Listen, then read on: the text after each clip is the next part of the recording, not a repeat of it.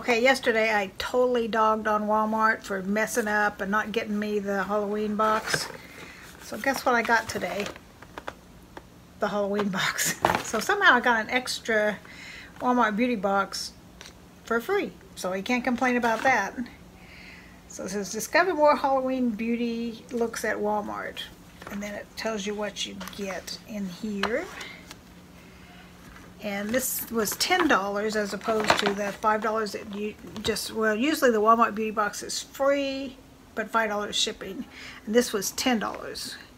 So first I got, this is cool, it's um, lipstick on one end and a um, gloss on the other, and they're both sparkly. Can you see how sparkly they are? That's cool. Then I have Instacolor Sugar Plum Hair Chalk. Gee, I was thinking about dyeing my hair purple, but I chickened out so I could try it with little streaks in it.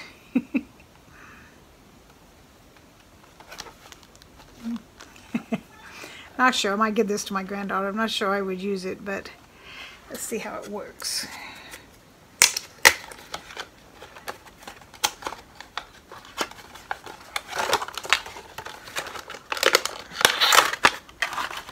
Oh, I get it. You um, put this on your finger. It's got like a little hole in. Oops. Low battery, I better talk fast. You put this on your finger and then you run this part through your hair and go like that, zoop, zoop, and it colors it. So that's kind of cool.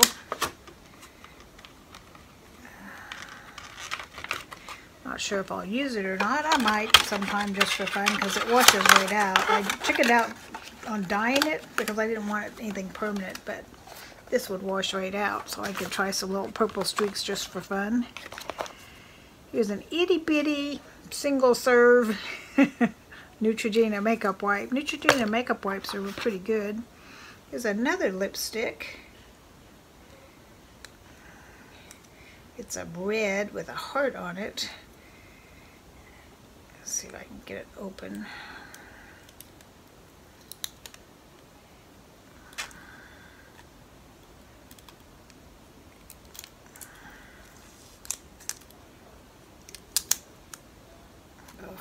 Hate it when these things do this where they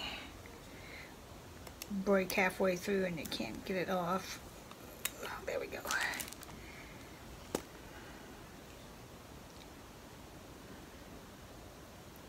I don't know if you can see that, but it's got like a little heart on it.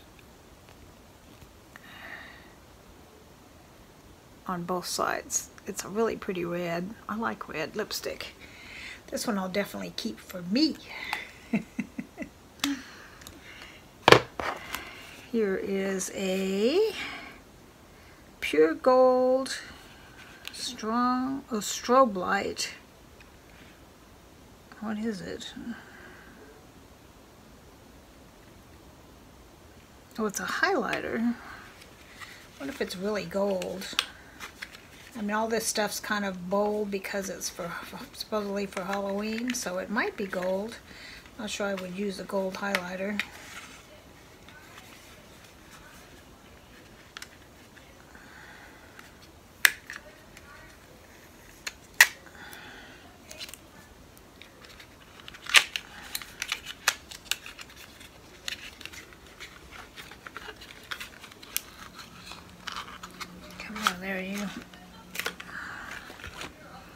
Don't want to touch it because